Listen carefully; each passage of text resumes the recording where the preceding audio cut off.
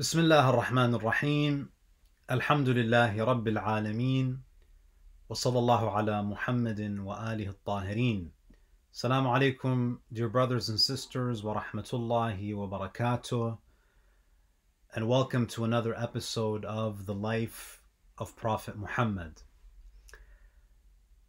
Before we speak about the most transformative moment in the life of the Prophet, which is the incident that took place in the cave of Hira during one of the nights when the Prophet was meditating, I think it's important for us to reflect a little bit about the stages in the Prophet's development. Because everything that has happened in the life of the Prophet has essentially been a preparation for him to undertake this weighty message. The Prophet, ﷺ, as we discussed, he was born into a state of tribulation. He was born as an orphan. He faced great hardships from childhood. He loses his mother, his beloved grandfather. After he gets married, he loses his first son. He loses another child. So the Prophet's entire life is characterized by loss, by tribulation, by pain. The Prophet ﷺ, throughout his life, he experiences the pain of isolation. So, before we, in order for us to really appreciate what happens to the Prophet at the age of 40, we have to understand the different stages in his development, especially from a spiritual lens. Now, from childhood, the Prophet ﷺ, according to traditions, was spoken to by angels. He was muhaddath, and muhaddath is a term that refers to someone who hears angels. Imam Ali ibn Abi Talib alayhi salam in Nahjul Balagha in Sermon 192, and we've already referenced this excerpt. But as a reminder, Imam Ali ibn Abi Talib says about the Prophet's childhood, وَلَقَدْ قَرَنَ اللَّهُ تَعَالَى بِهِ من لدن كان فطيما أعظم ملك من ملائكته From the time he was weaned, meaning the Prophet, God sent the greatest of his angels to accompany him يسلك به طريق المكارم This angel who was sent to the Prophet from, from his infancy, from the time that he was weaned, Allah sent an angel to accompany him and lead him day and night down a path to nobility and virtue. يسلك به طريق المكارم وَمَحَاسِنَ أَخْلَاقَ الْعَالَمِ لَيْلَهُ وَنَهَارًا Now, of course, every human being is accompanied by angels who protect them, who record their deeds, but this is a special type of care that is given to the Prophet. So, from the time that he was weaned, he was accompanied by the greatest of God's angels to train him and to guide him towards the path of nobility and virtue. Ibn Abil Hadid al Mu'tazili, the famous Sunni scholar who wrote a commentary of Nahjul Balagha, in volume 13, page 207, he cites a narration from Imam al Baqir alayhi salam. And again, this shows us that the Prophet from a very young age, he, he was exposed to the metaphysical realms. The angelic world was gradually revealing itself to him. Imam al-Baqir alayhi salam, he says, وكل, وكل بمحمد صلى الله عليه وآله ملكا عظيما منذ فصل عن الرضاع Imam al-Baqir, he says, God entrusted Muhammad sallallahu alaihi wa to a great angel from the time he was weaned. So this is exactly what Imam Ali ibn Abi Talib mentions in Nahj al-Balagha. يرشده إلى الخيرات ومكارم الأخلاق. This angel guided the prophet. You know, this could be angelic inspiration, angelic whispers into his heart. So, this angel, from the time he was weaned, was entrusted to the prophet to guide him to righteousness and to the highest character. ويصده عن الشر ومساوئ الأخلاق. And this angel would divert him from evil and from base character. هو الذي كان يناديه السلام عليك يا محمد يا رسول الله وهو شاب لم يبلغ درجة الرسالة, درجة الرسالة It was this angel who used to call out to him when he was a young boy, when he was a child, when he was a youth. This angel would speak to him. Of course, the Prophet wasn't able to see the angel, but he would hear this angelic voice saying to him, Peace be upon you, O Muhammad, O Messenger of God. While he was yet a youngster, Imam al Baqir says, when he was a youth, he would hear angels. When he was a youngster, not having attained to the station of messengerhood. فيظن أن ذلك من الحجر والأرض فيتأمل فلا يرى شيئا when the Prophet was a youth, angels would speak to him. He would hear the salutations of angels. And Imam al Baqir, he says, he would think the sound came from a stone or from somewhere. So he would look around but see nothing. So, in this stage in the Prophet's development, he is muhaddath. He hears angels. You see, the metaphysical world is gradually pulling back its layers, it's revealing itself to him. You see, spirituality, my dear brothers and sisters, is not like a light switch. The prophet is growing as a human being. And this is a, a, a, misconception that some of us have. We have this impression that the prophet is born and he already occupies these elevated uh, stations of spirituality. Now, of course, the prophet was infallible from birth, but the prophet is growing and is maturing. And you see this in this spiritual development, specifically in the gradual way in which the angelic world is revealing itself to him. So the prophet, as a youth, he would hear malaika. He would hear the angels speaking to him. And he would look, you know, he an the angels would say it. The angel that accompanied him, for instance, would say, Assalamu alayka ya Muhammad, peace be upon you, O Muhammad, O the messenger of God. And he, he didn't know where that sound was originating from. He would look at a stone, at a tree, and he would see nothing there. So at this stage in the Prophet's life, he hears angels, but he's not able to see them uh, with his eyes. So that's with respect to uh, his youth. And we also, in our previous episodes, we spoke about uh, the times in which the Prophet would be playing with some of the other Qurashi boys, and they would remove their garments, they would remove their shirts, and, and they would play.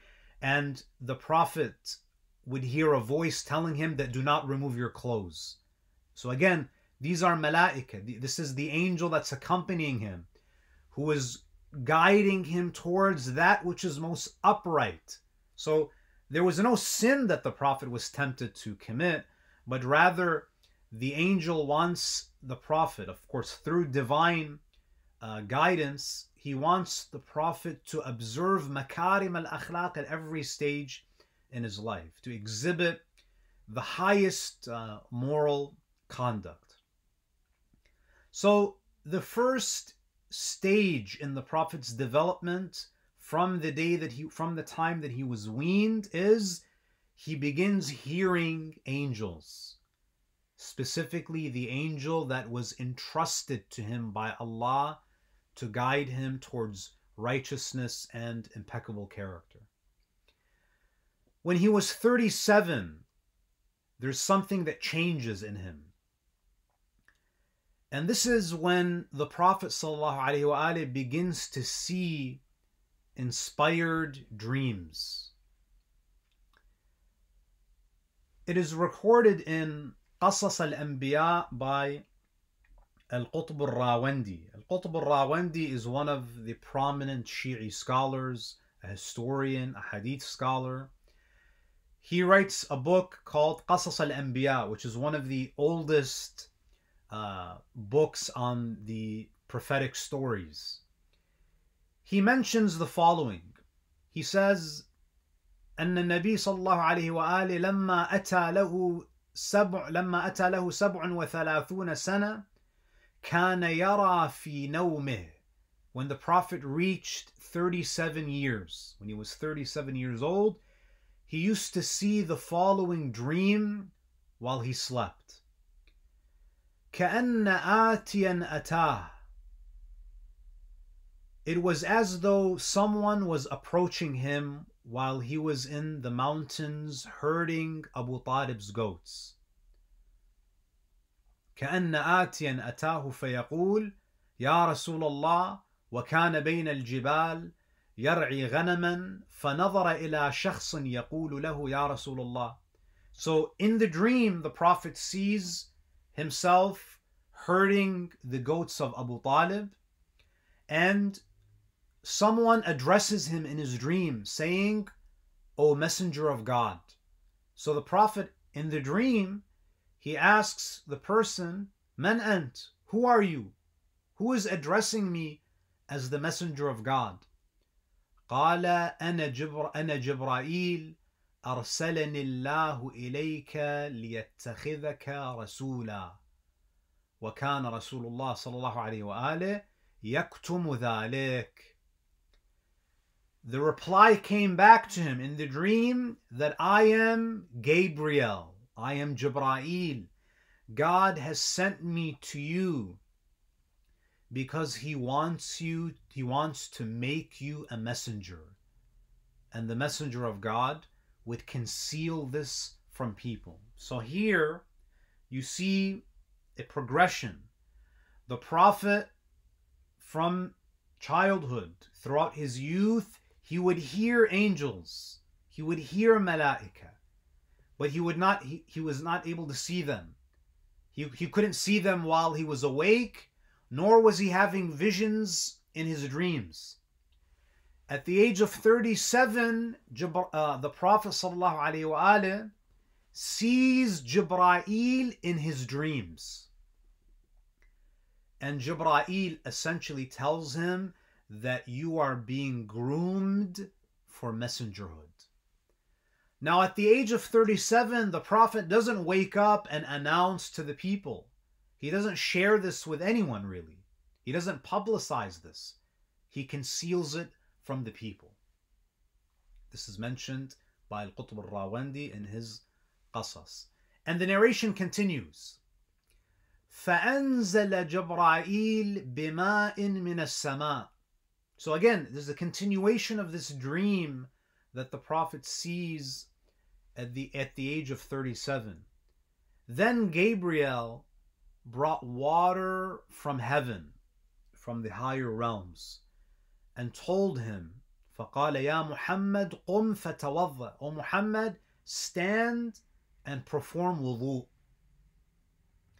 فعلمه جبرائيل الوضوء على الوجه واليدين من المرفق ومسح الرأس والرجلين إلى الكعبين. Then Jibra'il taught him the wudu by washing on his face and his arms from the elbows and wiping his head and two feet up to the ankles. وَعَلَّمَهُ الرُّكُوعُ وَالسُّجُودُ And Jibra'il teaches the Prophet sujud and the ruku'.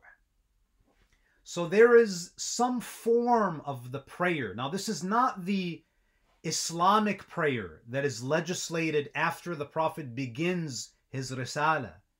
This is a special sort of prayer and uh, a wudu and prayer that is taught to the Prophet at the age of 37 that seems to be comprised of the, the basics, namely sujud.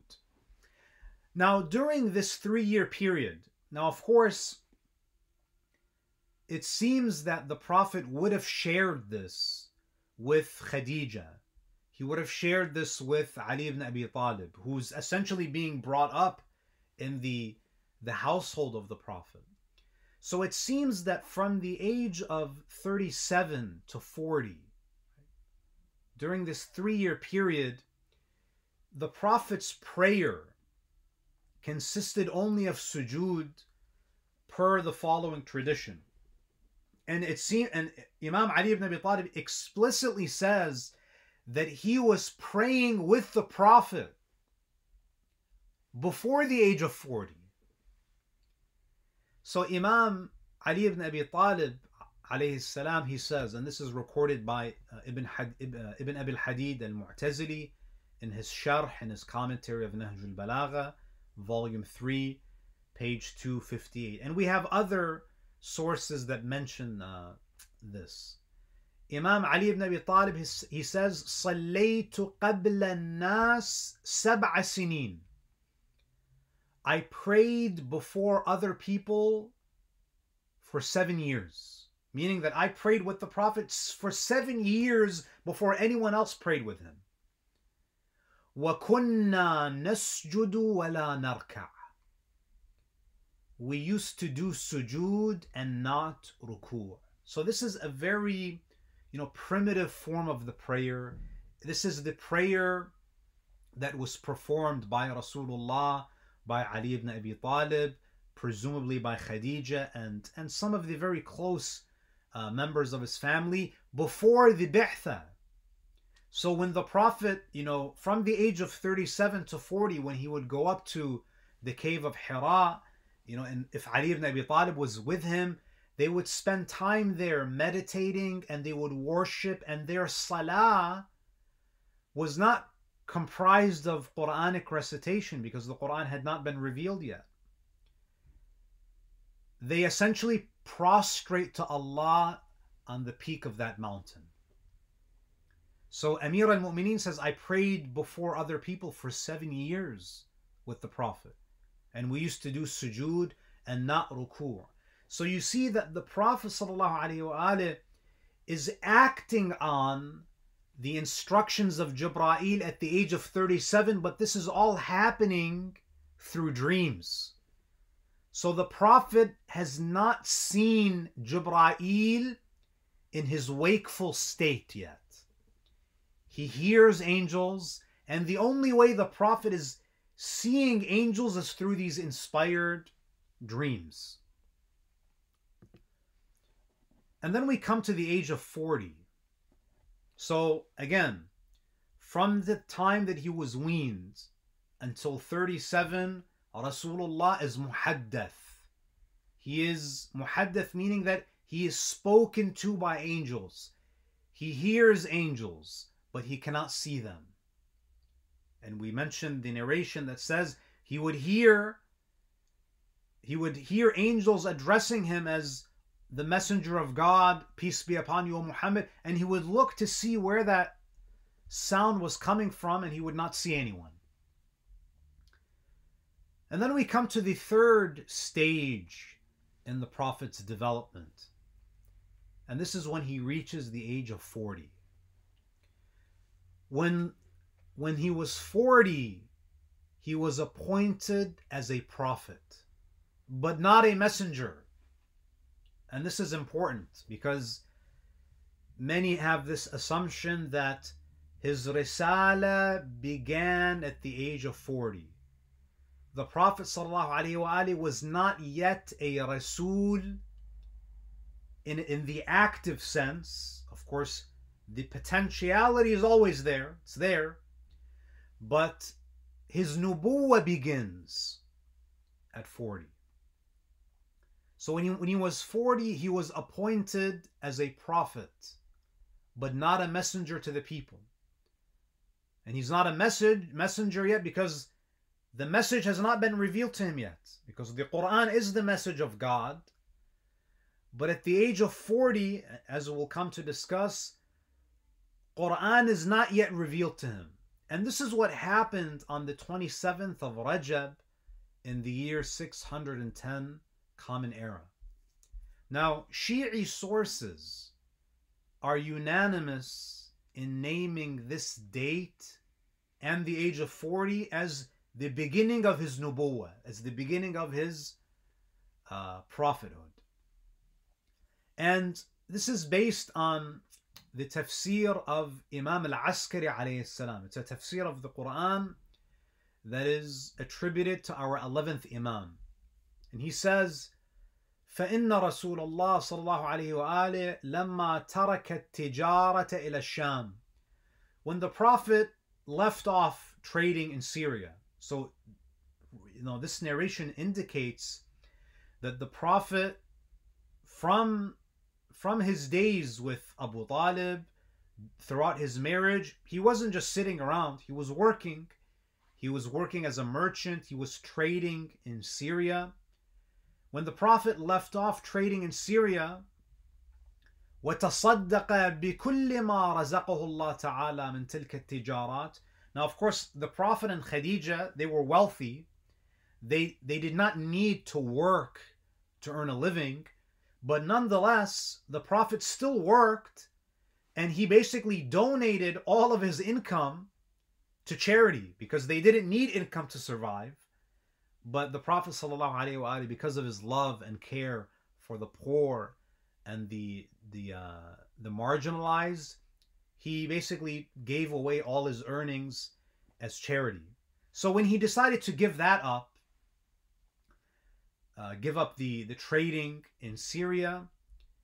كان يغدو كل يوم إلى حراء يصعده وينظر من قلله إلى آثار رحمة الله. So at the age of 40, he gives up uh, trading in Syria and he had given all that God had provided him through his business as charity. He used to go to Hira every morning. Now, before the age of 40, he would frequent the cave of Hira, but it seems that at the age of 40, he makes it a part of his daily routine. Now that he does, he's not trading as a merchant anymore, he seems to be dedicating more time to his spiritual development. So every morning he would climb Hira, he would climb Jabal al-Nur, and he would look from its peak at the manifestations of God's mercy. You know, brothers and sisters, it's one thing to think about God in the privacy of your home, to praise Him and glorify Him within the four walls of a room. But it's a very different experience when you praise and you glorify and you worship God with that type of view, when you're gazing upon God's creation. And this is what he would do. You know, the prophet seemed to yearn for the calm and the stillness of the night. He would gaze up at the stars. He would hear the, the rustling of the the leaves he would hear the wind he was very connected to creation so he would look from its peak at the manifestations of God's mercy at the various wonders that Allah had created out of his mercy and at his and at his creation's fresh perfection وينظر إلى أكناف السماء وأقطار الأرض والبحار The Prophet would ponder over the sky, the earth, the sea, and the desert, and derive lessons from these things. ويتذكر بتلك الآيات ويعبد الله حق عبادته. And he would worship God as he deserves to be worshipped. The Prophet would devote a lot of time to worship and meditation. And on the 27th of Rajab, and you know, we're in the month of Rajab, so the 27th of Rajab marks when the Prophet was at the age of 40, it marks the beginning of his nubuwah. And this is explicitly what Imam al-Sadiq alayhi salam says in Tahdhib al-Ahkam, which is one of the four most authentic hadith sources in the Shia tradition. It's one of al-Kutub al-Arba'a, authored by Sheikh al-Tusi. Imam al-Sadiq says, لا تدع صيام يوم سبع وعشرين من رجب. Do not forsake the fast of the 27th of Rajab. Why? فإنه اليوم الذي أنزلت فيه النبوة النبوة على محمد صلى الله عليه وآله. Because it is the day on which prophethood was ordained on Muhammad sallallahu alaihi wasallam. And even if you look at Sunni sources, if you look at Tarikh al-Tabari, he says unzila and you see that there's this distinction that's made between risala and nubuwa. In Tarikh al-Tabari volume 2 page 110 in the volume that I have he says أنزلت عليه النبوة وهو ابن أربعين سنة The prophethood, nubuwa, was given to him when he was 40 years old. فقرن بنبوته إسرافيل ثلاث سنين فكان يعلمه الكلمة والشيء ولم ينزل القرآن على لسانه The prophet was given to him, the prophethood was given to him when he was 40 years old. At that time, Israfil was assigned to him for three years. He used to teach him various things, but he did not reveal the Quran to him. So when the Prophet was 40, no Quran was being revealed to him. فَلَمَّا مَضَتْ ثَلَاثِ سِنِينَ And this is a common misconception among Sunnis and Shias. It's, it's some, this is a narrative that is, has been popularized but when you look at the sources, it there's no, there's nothing to substantiate it. And this again is a reminder that just because something is popular, it doesn't mean that it's authentic. You know, رب مشهور لا أصل له. Sometimes that which is popularized has no basis. So the idea that Quran was revealed to, to the Prophet at the age of 40 is actually unfounded in uh, in Shi'i sources, and even there are some indications in Sunni sources that that's not the case. So the prophet at the age of 40, he's ordained as a prophet. Israfil is assigned to him. He teaches him certain things. Again, how this happens, we don't know. But he did not reveal the Quran to him. فلما مضت ثلاث سنين قرن بنبوته جبرائيل After three years, were over. Jibra'il was assigned to him. فنزل القرآن على لسانه. So three years after, so at the age of 43, Jibra'il is assigned to him. And he revealed the Quran to him for 10 years in Mecca and then and 10 years in Medina. Now, Many people say, oh, but I thought the Prophet's mission in, was 13 years Mecca, 10 years in Medina. Yes, he was a prophet at the age of 40. So his nubuwa began at 40, and that's where the misconception is. But he became a Rasul at the age of 43. And at the age of 43, he receives the first ayat of Quran. So between the ages of 40 and 43, the Prophet is still making his daily trips to the cave of Hira.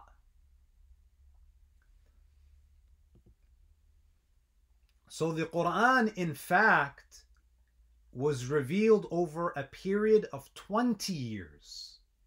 The Prophet's nubuwa lasted for 23 years. But his risala, he was a rasul for 10 for 20 years, but he was a prophet for 23 years. And and and this is where people they conflate. They assume that because his nubuwa was 23 years, that means Quran was revealed over 23 years, but that's not true. Quran was revealed to the Prophet when he was 43, and, and this is exactly what we're seeing in the narrations. Now, the, the narrative that says that Surah Al-Alaq was revealed to the Prophet on the day of the Mab'ath, and in the Sunni tradition, the Mab'ath took place in the month of Ramadan. In the Shi'i tradition, the Mab'ath is, the 27th of Rajab. 27th of Rajab is when the Prophet is appointed as a prophet.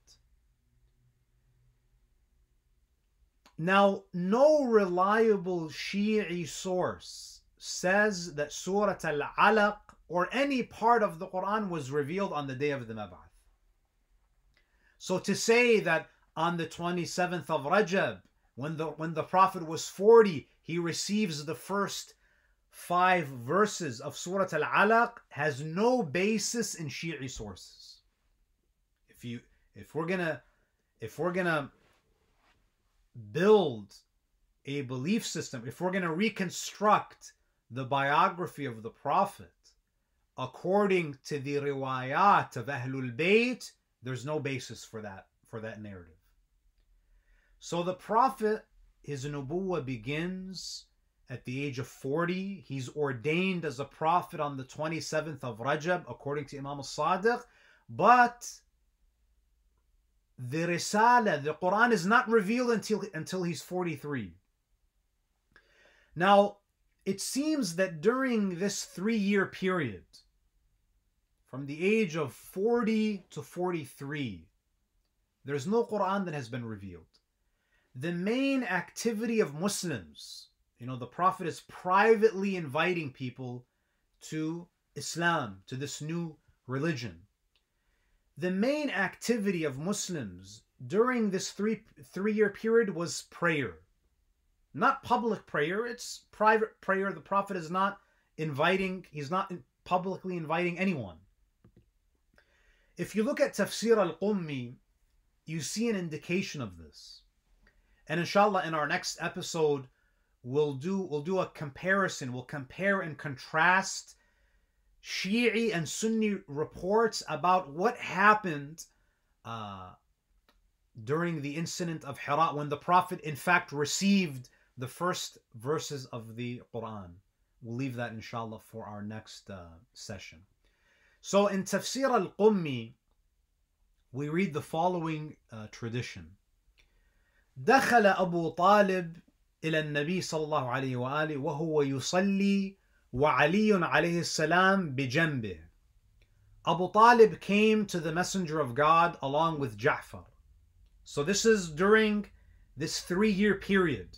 So the Prophet is, uh, this is the first three years before the Prophet publicizes uh, uh, his, before he begins publicly inviting people to Islam.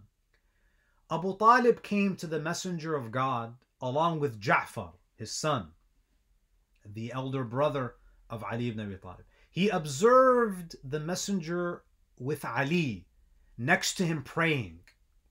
And this is presumably the prayer that was taught to the Prophet by Jibra'il in the dream that he had when he was 37. And this is, you know, the the prayer that that consists primarily of tasbih and sujood, and but there's no Quran as a part of this prayer. So Abu Talib says, فقال له أبو طالب فقال له وكان مع أبي طالب جعفر فقال له أبو طالب صل جناح ابن عمك Abu Talib, when he sees the Prophet and Ali praying, he tells his son Ja'far, Go and pray next to your cousin. So Ja'far فوقف جعفر على يسار رسول الله صلى الله عليه وآله فبدر رسول الله صلى الله عليه وآله من بينهما فكان رسول الله صلى الله عليه وآله يصلي وعلي وجعفر وزيد وزيد بن حارثة وخديجة يأتمون به Abu Talib sees Rasulullah and Ali praying. He tells his son Ja'far, Go and pray next to your cousin. So Ja'far stood on the other side. So when Ja'far stood to the left, so it seems that Ali was standing to the right of the Prophet praying. Ja'far stood to the left. the Prophet steps forward between them both. When Ali, Khadija, and Ja'far had accepted Islam, Zayd bin Haritha, so Zayd bin Haritha, who we spoke about in our last episode, the adopted son of the Prophet, he is among the first ones to join the Prophet during this three year period, before Quran is even revealed. They they participate with the Prophet in his prayer. Therefore, Ali, Ja'far, Zayd, and Khadija would pray behind the Messenger of God. Now, you may have a question about the difference between Nubuwa and Risala. We say that the prophets, that prophethood was ordained when, the, when Rasulullah was 40 Messengerhood, Risala, was ordained upon him when he was 43.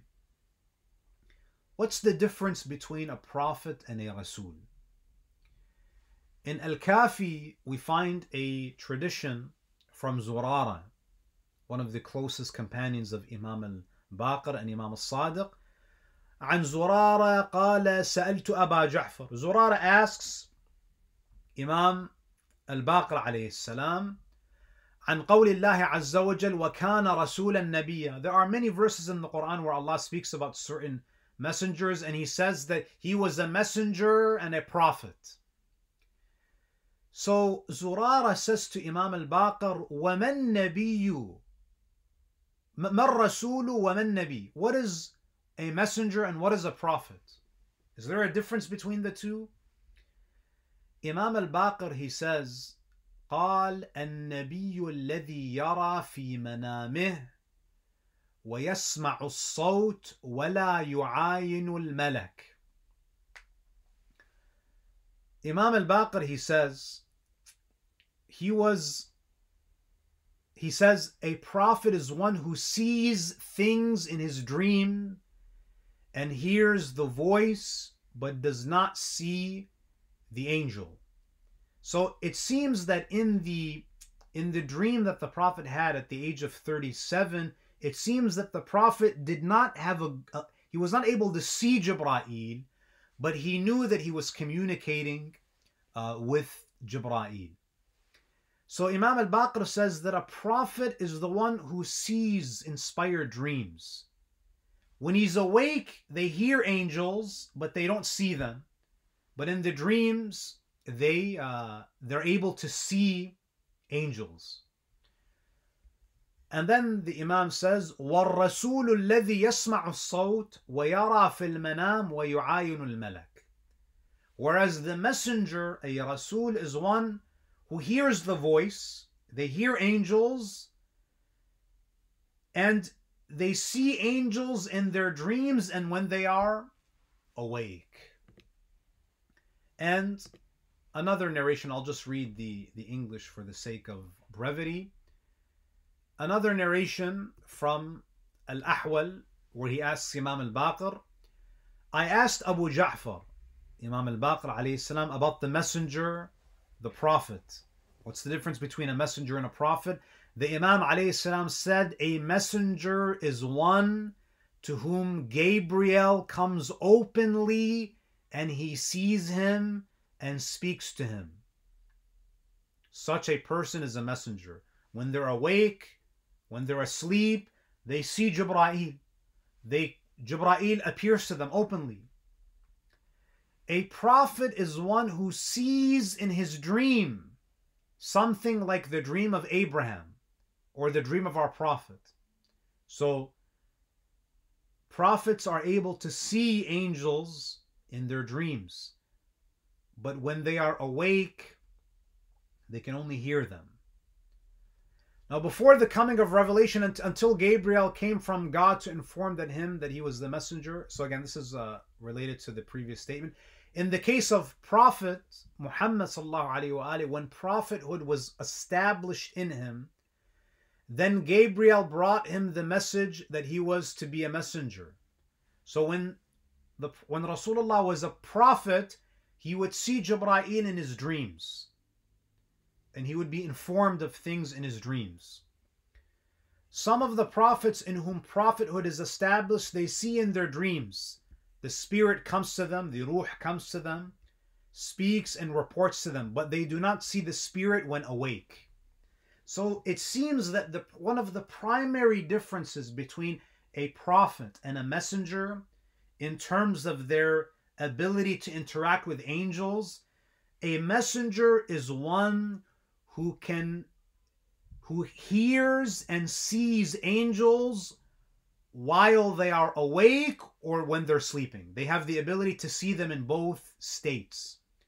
Whereas prophets, they can hear angels when they are awake, but they cannot see them. They can only see angels when they are uh, dreaming. And this could be, you know, when you're when you're sleeping, the soul is liberated from the limitations of the body. When a person becomes more spiritually refined, they are able to experience that liberation when they're when they're awake because their souls are stronger and they can interact with the angelic world in a much more direct way even without being asleep with their bodies with while their bodies are still awake. And the Imam then ends by speaking about muhaddath. Muhaddath is the one who hears angels but does not openly, he does not see them openly or in his dreams. So a muhaddath is someone who hears angels but cannot see angels when they're awake or when they're asleep. A prophet is someone who can see angels when they are dreaming, when they're asleep, but they cannot see angels when they are awake, but they can hear them. Whereas a messenger, a Rasul, can hear angels and see them when they are awake and when they are asleep.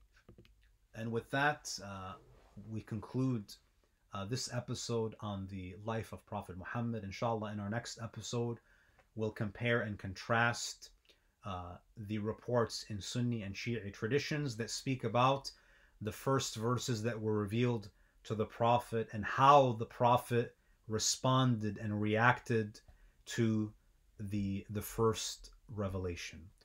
Thank you so much, brothers and sisters, for tuning in. وصلى الله على محمد وآله الطاهرين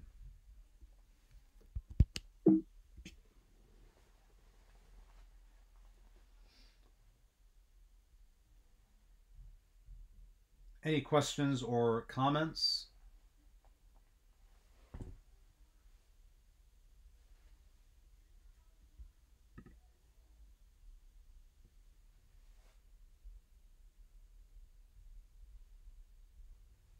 Zane, I'm not hearing anything. I'm not sure if you're speaking.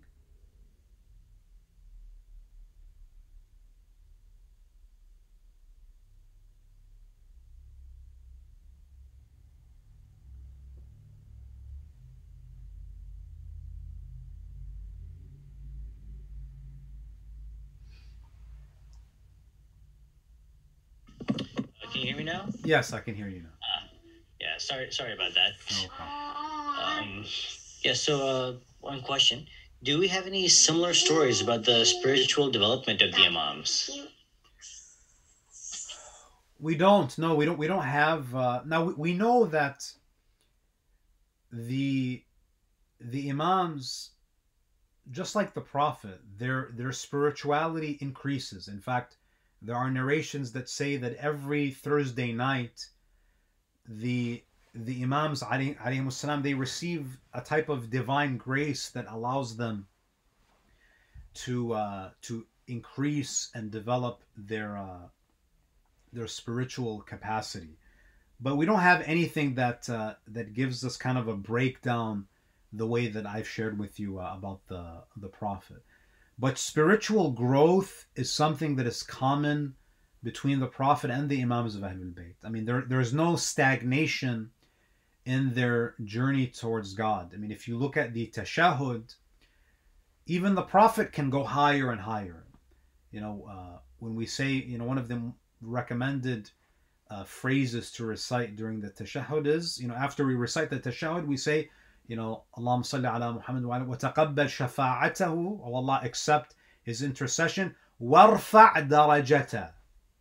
We make a dua to Allah. We ask Allah to raise his station, to raise the status of the prophet. So this indicates that even the prophet can get closer and closer to Allah, that even the prophet can go higher and higher. So when you look at the lives of all of the imams, you know, Imam Ali ibn Abi Talib, for example, at the age of 60 is not the same Ali ibn Abi Talib at the age of 30. Of course, the infallibility is consistent, but his ma'rifah of Allah is constantly growing and developing. So the ma'rifah of Ali at the age of 60 is greater than his ma'rifah at the age of 30. Now that's not to say that, you know, of course the isma is consistent, but because God is infinite, you can never say that I am done, I have reached maximum ma'rifah of Allah. There is no created being that can say that I am done getting to know Allah, that I have attained maximum ma'rifah. So because God is infinite, the journey of ma'rifatullah is also infinite. And this is one of the the secrets of paradise. You know, people always ask, are we going to get bored in paradise? The answer is it's impossible to get bored in paradise because one of the the greatest, the highest pleasure of paradise is getting to know God. In, in the same way that, you know, when you're in love with someone, part of the excitement is the getting to know them, period. That in and of, of itself is pleasurable. Now, so because Allah is infinite, ma'rifatullah is also an endless journey. And hence, the pleasure in paradise is unending.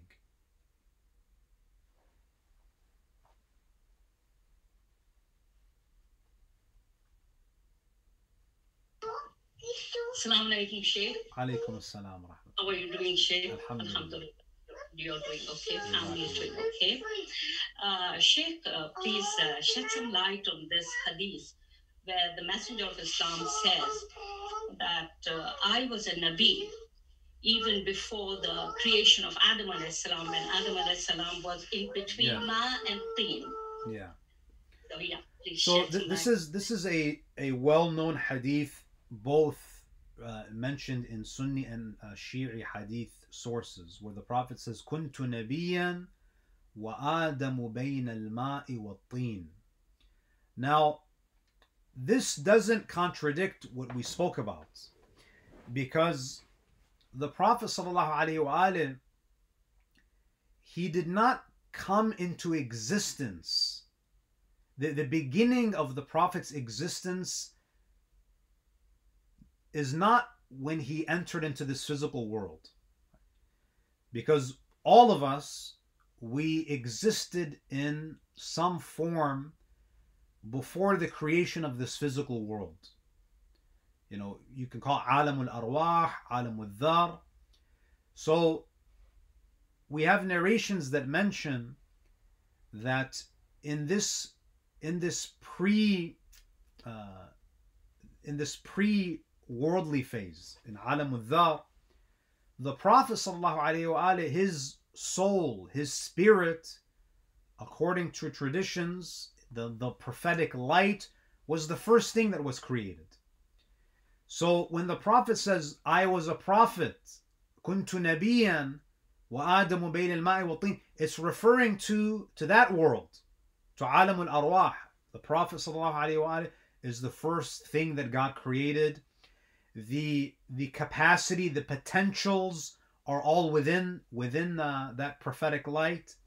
But the Prophet wasallam in Alam dunya his official job as a Nabi, as a, as a Rasul, does not begin from the, the moment of his birth. I mean, this is what clearly Imam. So again, we need to make a distinction between potentiality and actuality. Imam al Baqir says that on the 27th of Rajab, Nubuwa was established in him. So, this is not to say that, this is not to contradict the narrations that say that uh, the Rasulullah was a messenger before uh, the creation of uh, of Adam. This is speaking about the the world that predates Alam dunya where you don't have the you know because that world is different in nature from this world. This world is Alam al Khalq, where things have to go through stages. Alam al Arwah is the, the it's the world of Alam al Amr. It's the it's the kun fayakun phase. So what what is what exists in that world has to go through stages to manifest itself. Whereas in Alam al Arwah, things are already uh, they've or, they've already actualized. Does that make sense? So when you look at, for example, a a seed, the seed, everything that we see in a tree is contained in the seed. But the seed has to go through stages for it to go from potential to actuality. And the same thing applies to the Prophet wasallam.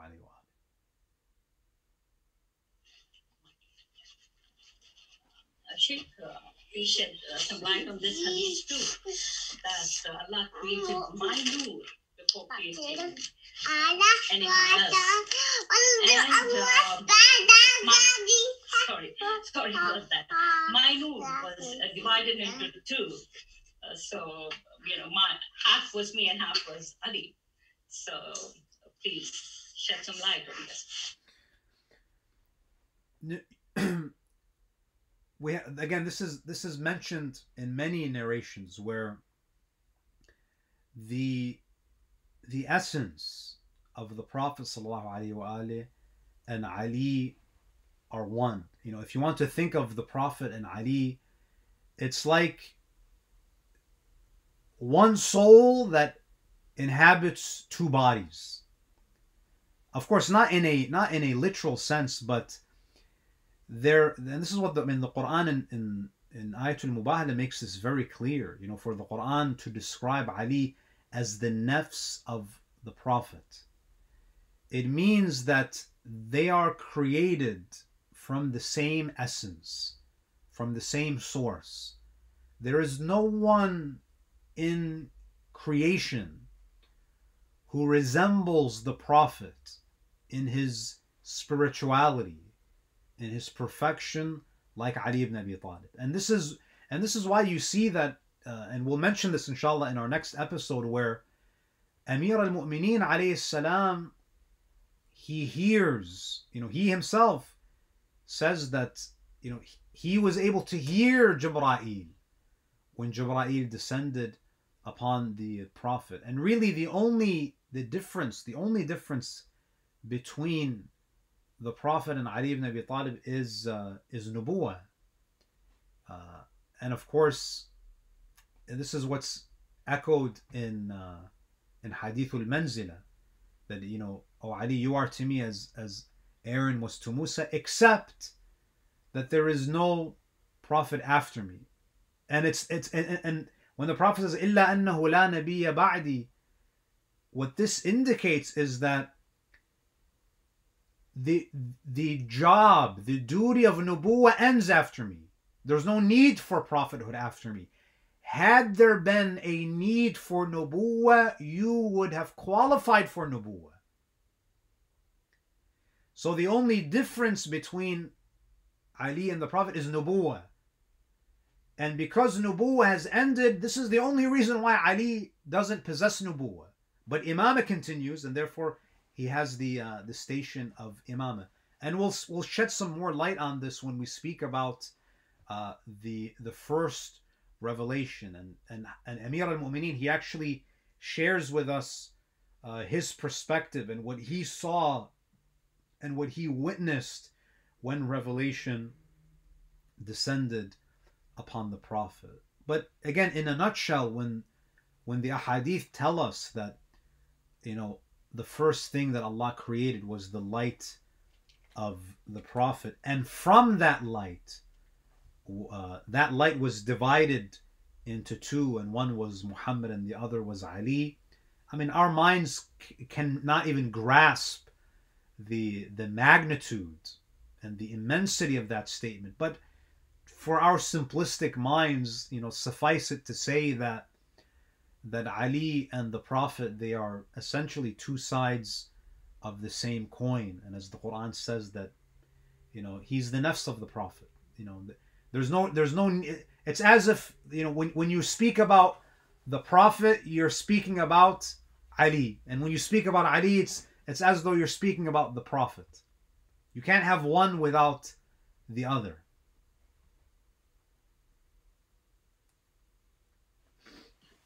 Thank you, Sheikh.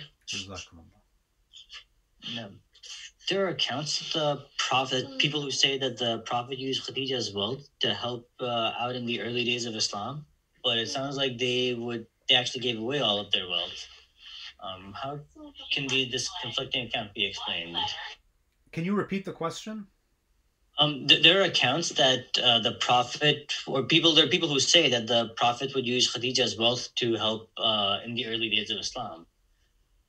Yes. Uh, if they had given away all their wealth, then how could that be the case? No, the the hadith the hadith doesn't say that the prophet gave away all of Khadija's wealth. He gave away the the wealth that he was earning from uh, from trading. And Khadija being, I mean, I, you the the implication and the assumption that we can make is that Khadija saw that you know I already have plenty of wealth that I've accumulated, and it seems that she encouraged the prophet to use that money that he had earned and give it give it away to the poor. She she never essentially wanted the prophet to maintain her and use that money to provide for her uh, living expenses because the, the wealth was already there. So it's not that he spent her wealth; he spent his own wealth uh, because Khadija simply did not want him to use that money uh, for her maintenance.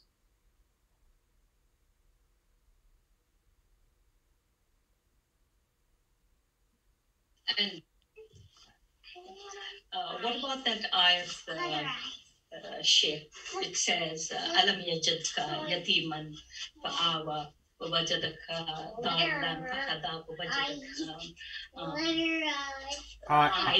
ووجدك عائلا فأغنى Now, now again, b- before the Prophet sallallahu married Khadija, his his uh, his economic situation was not very good, you know, because he when he would work, as we mentioned, he was helping Abu Talib. Abu Talib had a big family, so a lot of his income was going to support Abu Talib. Now, when so Allah enriches him through his marriage with uh, with Khadija. So so now so you have the wealth of Khadija combined with the Prophet's own earnings, and the wealth of Khadija suffices for all of their needs, and therefore the Prophet has all of this discretionary, this disposable income now that he can use. And this is, of course, after uh, you know Abu Talib's situation seems to have improved.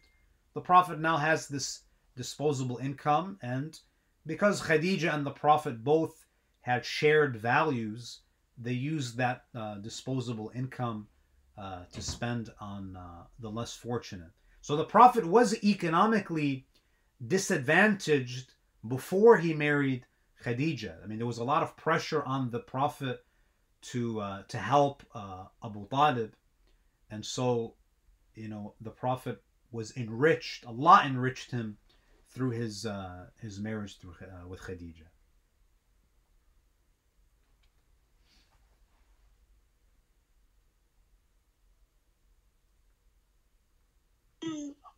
Thank you, Sheikh. Ahsantum, barakallah fikum. Thank you so much for for tuning in, and inshallah next week uh, we will continue our discussion bi'idhnillah. And alhamdulillah, it's a very uh, appropriate time to speak about, you know, uh, these uh, this part of the Prophet's life because it happened in the month of Rajab, and when with the month of Ramadan approaching, I think that a lot of these discussions are going to be very uh, appropriate in terms of time.